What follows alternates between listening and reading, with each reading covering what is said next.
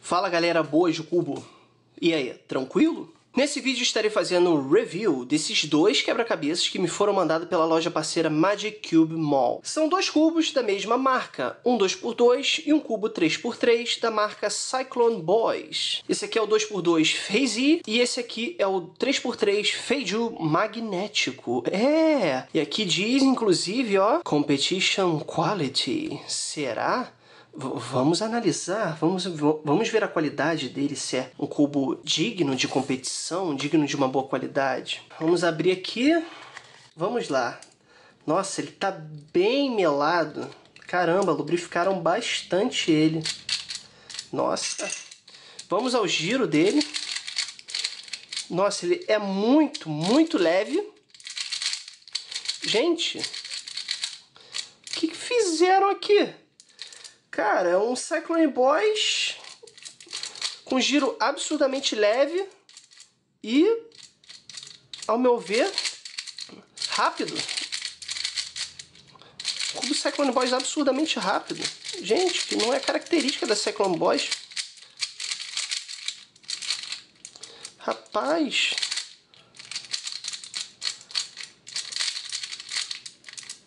Vou mostrar vocês as cores, né? Que são clássicas da Cyclone Boys, aquelas cores fortes e fluorescentes. Aqui o logo da Cyclone Boys. Quando você gira, ele faz um barulho semelhante aos Cube, como se fosse um clique. Olha lá, tic. ele fez tipo isso, ó. ó. Eu acredito que seja por causa, claro, dos ímãs, o sistema magnético dele. Vamos lá, mexer mais um pouquinho nele. Gente, que isso, rapaz. Cheguei até a me perder aqui um pouquinho. Caramba. Cara. Gostei, gostei. Sério, gente. Muito, muito rápido aqui. Apesar de que, assim, eu não sou sub-10. Eu não sou rápido. Então, não é um, um cubo assim que eu me acostumaria com facilidade devido a ser rápido eu não sou sub-10, eu não tenho uma velocidade já natural para acompanhar, entendeu? Mas claro, o sistema magnético ajuda muito na, na estabilidade aqui nas faces durante o giro. Ó, tá vendo? Fica alinhadinho, ó. Legal, né? Vou mostrar vocês já aqui as peças dele já já, para vocês verem é, se dá para ver também os ímãs atuando. É meu primeiro 3x3 magnético, sinceramente. Então não entendo muito ainda. 2x2 eu já tenho, que é o Wuxia. Legal, legal. Nossa, Cyclone Boys, parabéns. Fez um cubo muito bom aí para competição. Sério? É leve, tá, gente? Ó, o giro dele parece que ele tá muito frouxo, mas não. A tensão dele, ao meu ver, tá boa. E o giro dele ó, é muito levinho, nossa. Algo muito leve. Vamos lá, peso e medidas do puzzle. Vamos dar uma olhada? Ele pesa 90 gramas. Bom, aqui no paquímetro eu vejo 55, 56,5, quase 57 milímetros a medida dele. Vou mostrar vocês as peças dele, vamos conhecer. Será que eu consigo desmontar com facilidade? Até que consegui. Legal. Vamos lá. Aqui não preciso mostrar o resto, né? Tudo a vocês. Olha, é bem... Caramba! É um design muito diferente, sinceramente. Olha, a peça... Mostrar aqui a vocês, por enquanto, só a peça de meio. Vejam só, cheio de cortes aqui, né? A peça tem uma aba aqui. Torpedo já integrado, claro. Aqui, ó. Todo um desenho a peça tem, bem diferente. E aqui, a peça de canto, meio oca, como podemos observar, aqui vazada por aqui, vazada por aqui. Bem diferente também, né? Ok? Uma aba bem grande aqui. Vamos abrir a peça. Quero ver como ela é por dentro. Será que eu consigo abrir? Para ver os ímãs? Vamos lá. Pronto, pessoal. Vejam só. A peça de meia aqui aberta. Vejam como é que funciona aqui os ímãs. Onde é que eles ficam. Aqui, ó, na lateral da peça tem tipo um compartimento onde o ímã entra certinho. E aí fica um imã desse lado e um imã aqui do outro lado. Fechar aqui, ó. Legal. Parece, né, como, se, como podemos observar ali, que o imã não é colado, não usa cola quente nele, ele é enca puramente encaixado. Bom, pelo menos o que parece, né? Aqui na peça de canto eu tentei desmontar ela, mas eu achei melhor não desmontá-la, sinceramente, que eu não consegui por todos os lados. Mas se abrir aqui um pouquinho, o imã fica ali, ó, tá vendo aqui, ó, o imã. Fica nesses posicionamentos aqui, tá legal? Então as peças de canto, claro, também possuem imãs. Legal legal, vamos aqui remontar o cubo e irmos para a solvibilidade dele, né? Vamos resolvê-lo. Então vamos lá, já remontado aqui. Agora aqui, cronômetro já ligado, posicionar ele aqui mais para trás.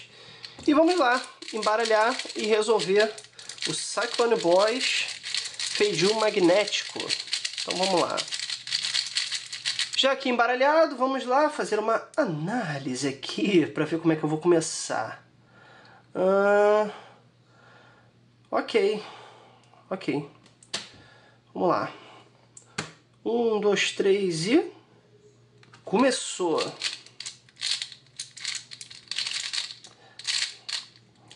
Ah.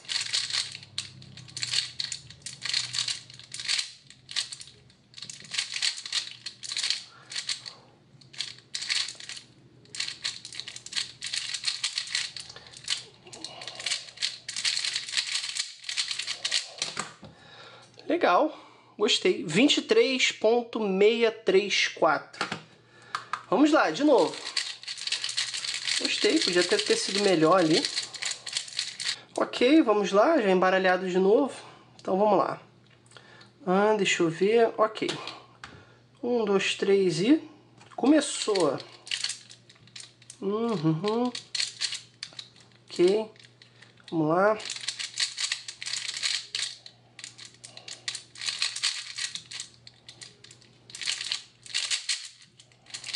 Hum, errei.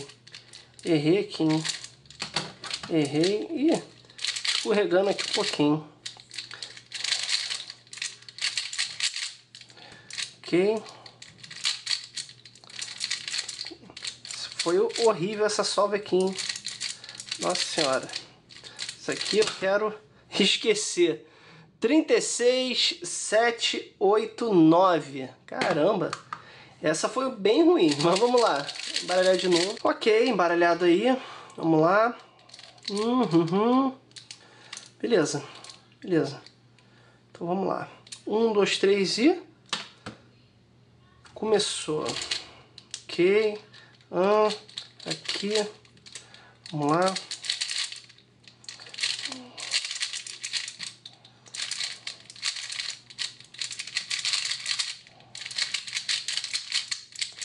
Vamos lá. Ok. Ih, rapaz, parou. 25, 189. Vamos para a última, vamos para a última. Ok, embaralhado. Vamos lá. Beleza. Um, dois, três e... Começou. Uhum.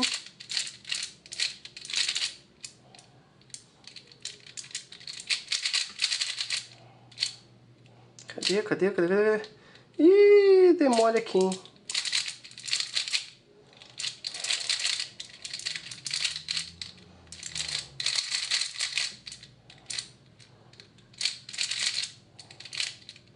Hum.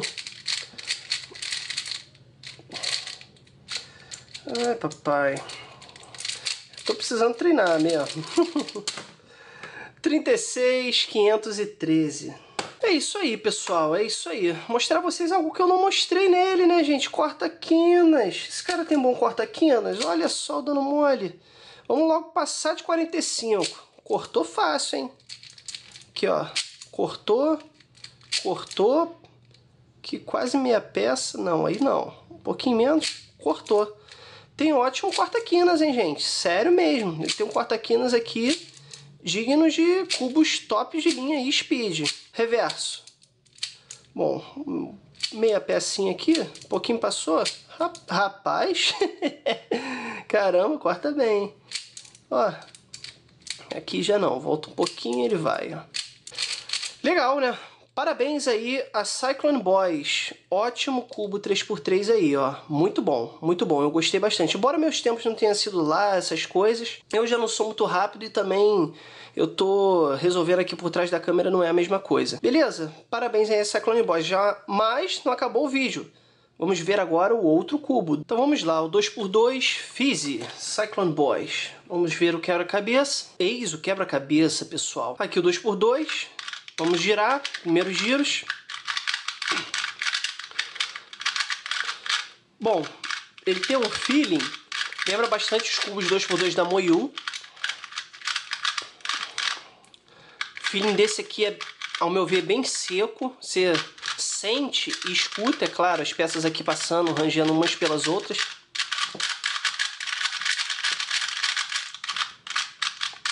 Os adesivos, agora não sei se vocês vão perceber isso. Ele não é adesivado, ok? As peças são pintadas, é um tipo de tinta. Pronto, aqui ó, mostrar vocês, estilo esse mesmo Cyclone Boys aqui, aquele Cyclone Boys Mini, se eu não me engano de 40mm, né, 4 centímetros.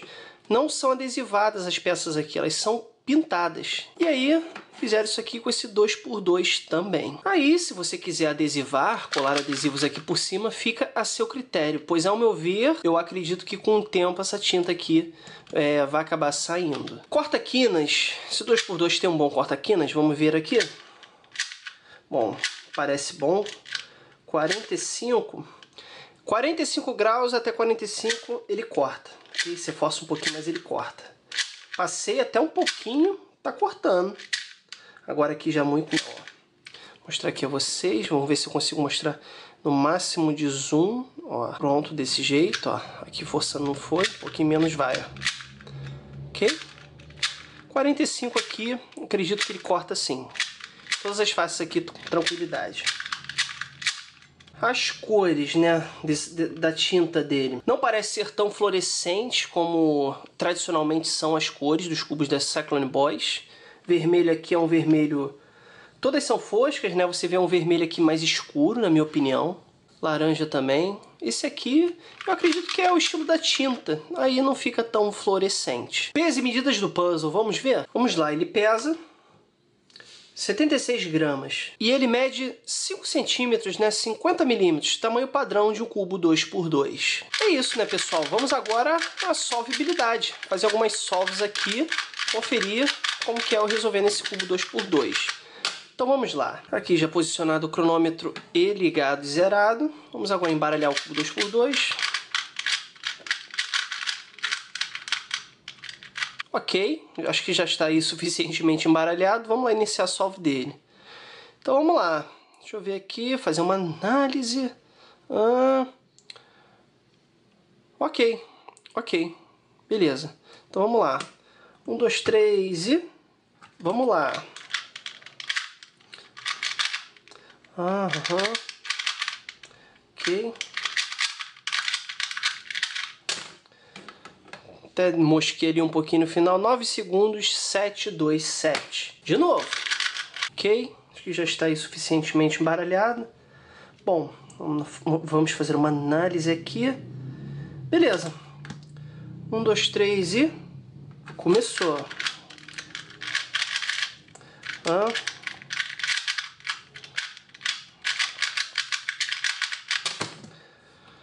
Bom, 8 segundos, 9, 3, 3.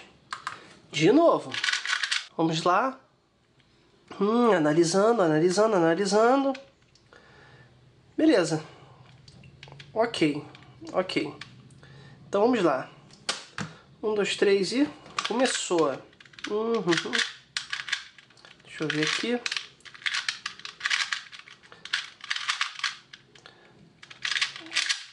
Dei mole. Dei mole ali, mosquei. 11 segundos, 9, 3, 4. Vamos para a última. Ok, já embaralhado. Vamos lá. Hum, beleza. 1, 2, 3 e... Começou. Hum.